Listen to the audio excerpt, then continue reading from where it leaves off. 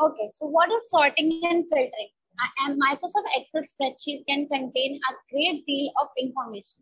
Sometimes you may find that you need to reorder or sort that information, create groups, or filter information to be able to use it most effectively. Uh, sorting and filtering basically means that uh, to reorder or rearrange something, uh, the data which has been entered in the spreadsheet to rearrange that either ascending order, descending order, or in the chronology uh, way, anything which uh, in which we are sorting the data or arranging it, it's called sorting the data. Okay? And in filtering, it is uh, we are able to use it in the most effectively form. Like filter, when you apply filter to a worksheet, you get the gray color drop down controls filter switches appear to the right of the column heading of a list. Using these switches, you can filter any data.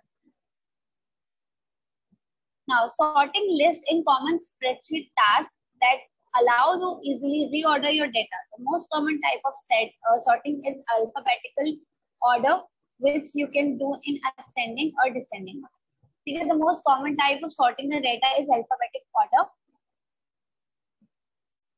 To sort in alphabetical order, select the cell in the column you want to sort. In the example, we choose our cell in column A. Click the sort and filter command in the editing group of the home tab. Sort data, uh, select sort A to Z. Now the information in the category column is organized in alphabetical order see this is the call uh, this is a part where from we can sort the data alphabetically. You can sort in reserve uh, reverse alphabetical order by choosing sort z to a. If we are going to choose the second option sort z to a the data would be arranged in the descending order like uh, the uh, name starting with the letter z would be in the top of the list and the starting with the a it would be in the end of the list to sort from smallest to largest. Select the cell in the column you want to sort, a column with numbers. Click the sort and filter command in the editing group on the home tab. Select from smallest to largest. Now the information is organized from the smallest to the largest amount. You can sort uh, in reverse numerical order by choosing from largest to smallest in the list. The sort, uh, the sort multiple levels. Click the sort and filter command in the editing group on the home tab. Select custom sort from the list to open dialog box. Select the data tab, locate the sort and filter group. Click the sort command to open the custom sort dialog box from where you can sort one by one item or multiple items. Here, see click the drop down arrow in the column sort by field. Then choose one of the options in this example category. When you are going to click it, the, uh, the category box would appear and just you have to do is select a category you want to sort it in. Here, see category option. Choose what to sort on. In this example, we will leave the default as value. In the first column, sort by, you need to just, uh, select the category. Then uh, whatever the uh, so whatever the data you need to sort and then order में क्या आपने रखना है A to C, Z to A, smallest to the largest और largest to the smallest जो भी आपको choose how to order the results leave it as a to z so it is organized alphabetically click add level to add another item to sort by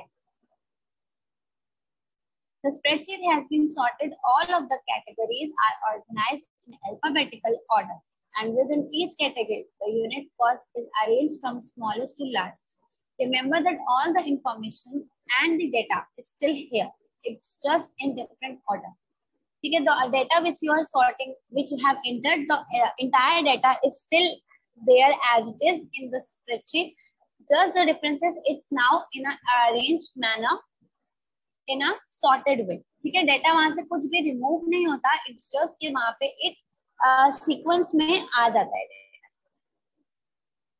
now Moving further for the, to the filtration part, filter data in a range or table.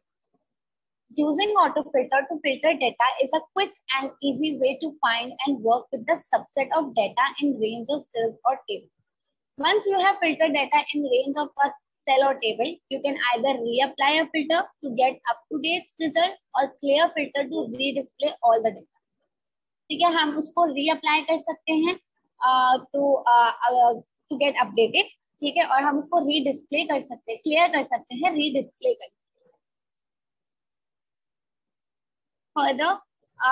Filtering criteria that you specify and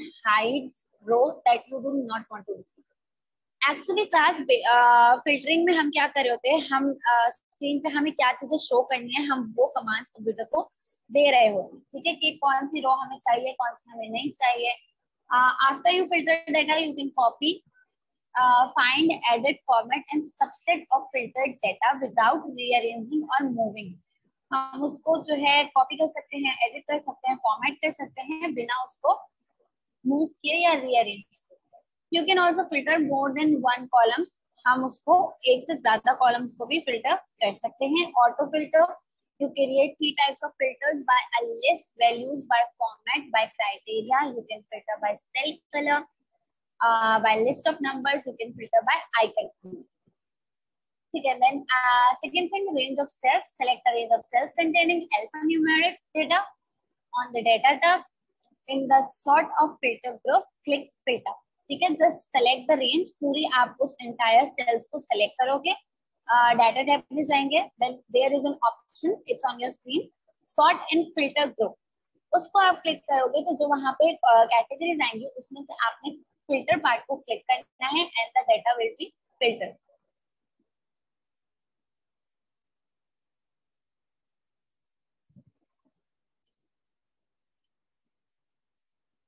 Okay, so this is all about filtering and sorting.